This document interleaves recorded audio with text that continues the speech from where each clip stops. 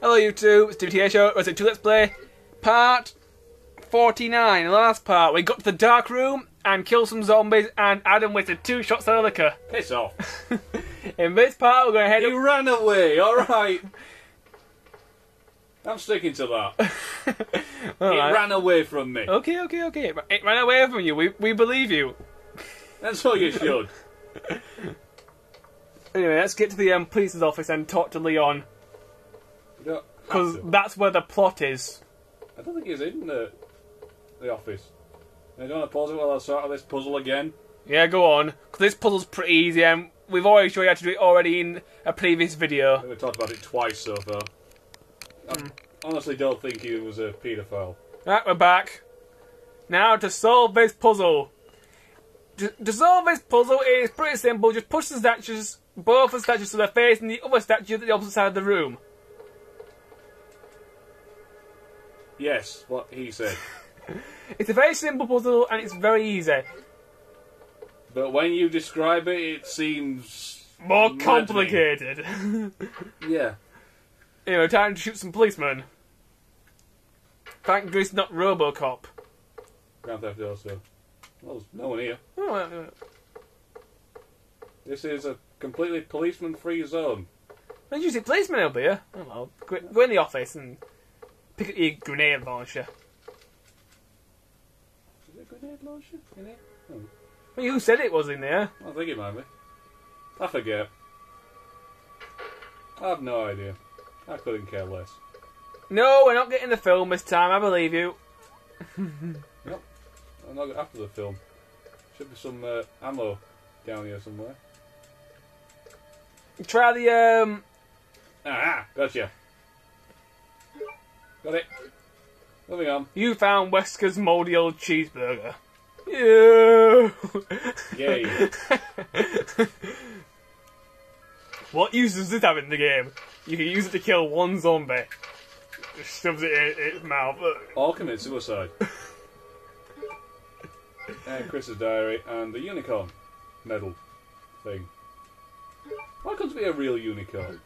That'd have been cool. A real unicorn in a Resident Evil game.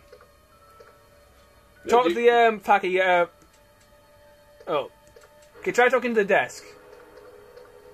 No, no, you can't. Yep. Oh, try the cupboard then. Ah, fuck it. Uh, That's Resident Evil 3 way to talk to that. switchboard. Grenade launcher. You take the G launcher. You got six grenade rounds. Oh, It's printing something. fax machine going off. What's the point? This entire town has been completely screwed over by zombies. Who the hell's sending me faxes? It's wants someone out of town. Don't these people know that Raccoon City's sort of Maybe the fax was sent before they found out. maybe 'Cause, you know, fax machines do take about a while to transmit data. I think. not that long? Right, where do we go next? Uh, you go back to uh, The the main entrance and put the unicorn going in. That's it. yep. I'm gonna pause it. Mm, nah, we'll watch you walk back. Fair enough.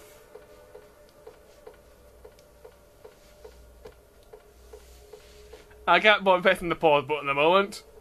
That's just lazy. Backtracking is boring.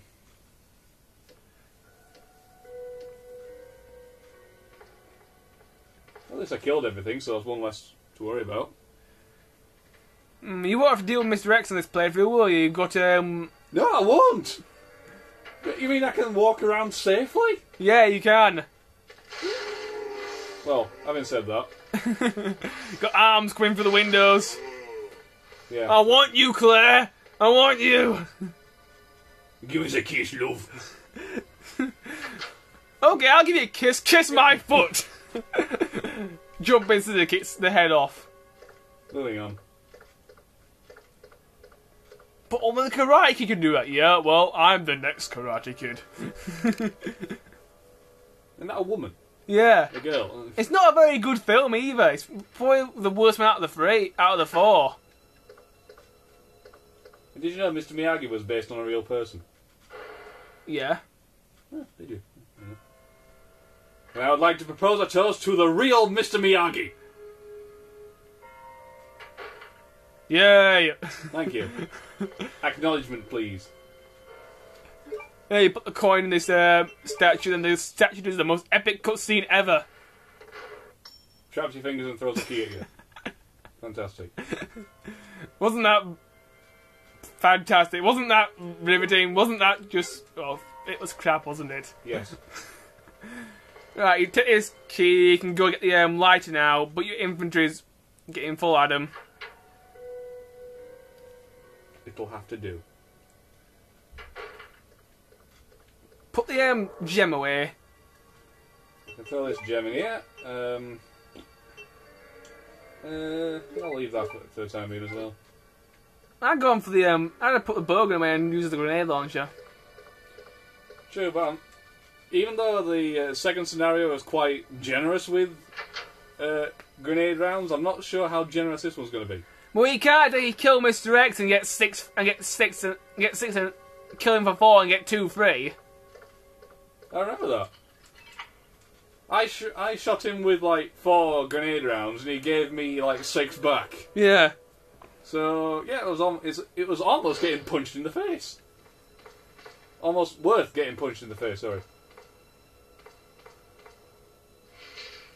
Alright, move the step ladder or whatever it is. You can probably reach the thing, you just move your arm upwards. you could probably jump up there and get it, couldn't you? Crank. Will you take the crank? I will take the crank. I now have a crank. Right. I am not feeling epic. You might as well drop the crank off because you won't need it for a while. Uh, I shouldn't think so.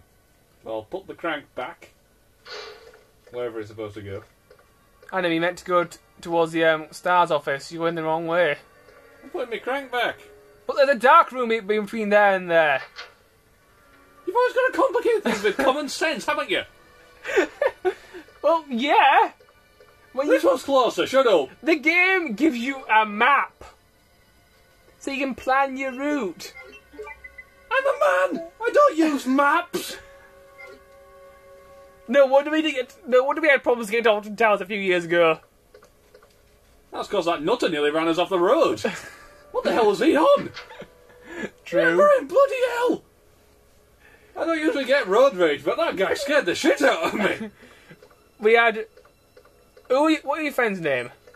Philip, Philip was trying to navigate, and you were trying to drive. And I said, "Will you just shut up, Adam? It's that way." yes, And I got us there. Yes, you did. Smart ass. Me and me and Phil arguing which way we're supposed to go. No, no, you just got. turn Just go that way. It's over there, and it's over there. Now you now you know why I don't drive him anywhere anymore. That's why it's been two years since we last went to Alton Towers.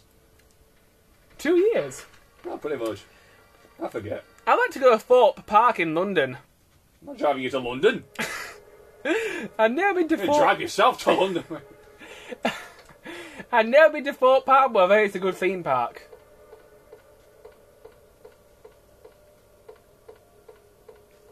I've never I've never had um, you know a scaffolding bar to the back of the head, but I'm not. I'm, I'm I've been told it hurts.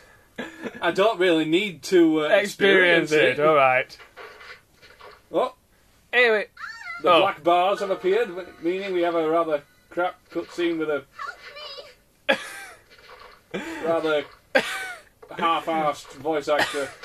anyway, you two run out of time. See you next part.